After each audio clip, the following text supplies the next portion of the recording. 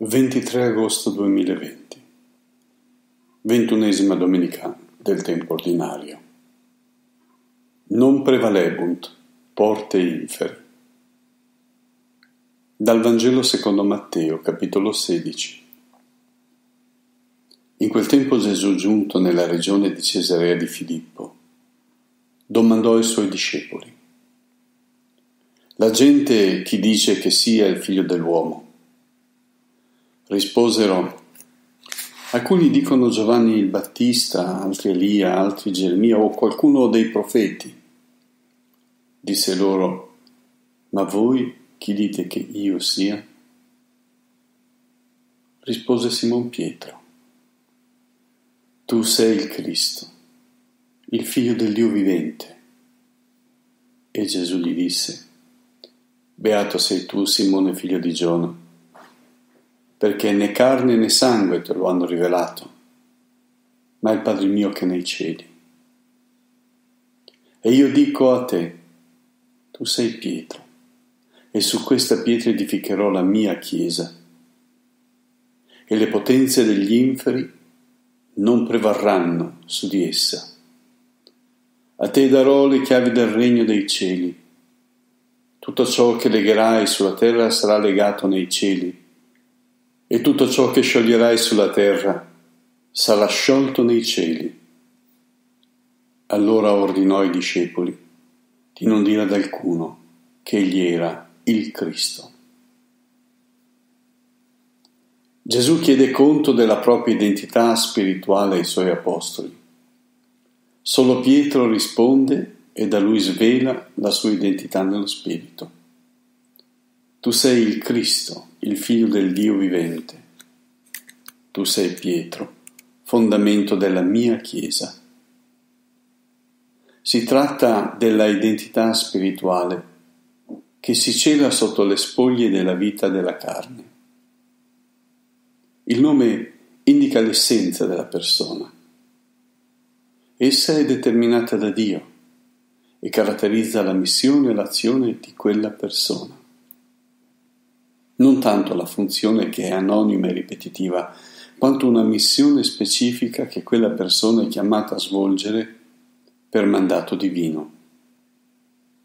Si tratta della posizione davanti a Dio, la quale non muta e rimane in eterno. Essa si contrappone spesso a quella terrena, per cui il volto umano può far trapelare quello che una persona è ma lo cela. Gli occhi sono la parte più rilevante di quella che è la disposizione dell'anima, per quello che rivelano, per quello che possono percepire delle cose spirituali. La lampada del corpo è l'occhio. Se l'occhio tuo è limpido, anche tutto il tuo corpo è illuminato. Ma se è malvagio, anche il tuo corpo è nelle tenebre. Sta quindi attento che la luce che è in te non sia tenebre. Ma oltre a questi lampi di luce o di scintillio infernale, difficilmente conosciamo chi siamo e chi sono gli altri davanti agli occhi di Dio. Il cuore dell'uomo è conosciuto solo da Dio. La sua volontà buona o cattiva rimane celata per il giudizio che solo Dio può dare e che a noi è precluso. Non giudicate. Il nome della persona dunque è celato, segreto e viene svelato solo da Dio, poiché costituisce il rapporto di conoscenza e di amore di quella persona verso di Lui e sarà svelato solo nella gloria alla fine dei tempi, nella vita eterna. La nostra vita ora è nascosta in Cristo. A noi è data la certezza per fede di un posto davanti a Dio, il quale rappresenta il grado di amore con cui siamo stati capaci di amare Dio e della vocazione a cui abbiamo corrisposto. Ebbene anche il nome di Gesù è nascosto e solo nella fede, nell'apertura alla voce dello Spirito, il Padre lo rivela. Solo Pietro è immediatamente capace di rispondere, senza pensare, senza ragionare, ma per la certezza evidente che sta davanti agli occhi dell'anima della presenza di Dio nel Figlio incarnato.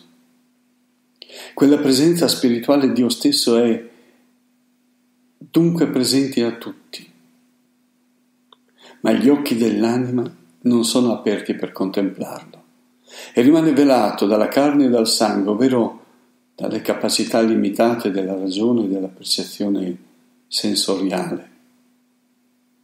Perciò Cristo parlava in parabole perché chi fosse pronto capisse e chi no rimanesse all'oscuro, poiché una rivelazione senza accoglienza del cuore, cioè della volontà di servire ed adorare Dio, diventerebbe responsabilità tremenda.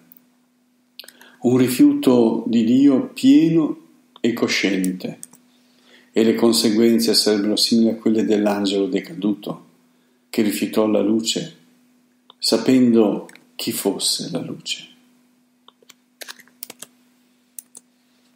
Alla rivelazione del vero nome dell'identità di Gesù corrisponde un conferimento della vocazione del destino di Simone, figlio di Giona, che per il suo cuore ha meritato di essere figlio di Dio poiché il Padre gli ha rivelato l'identità del figlio unigenito.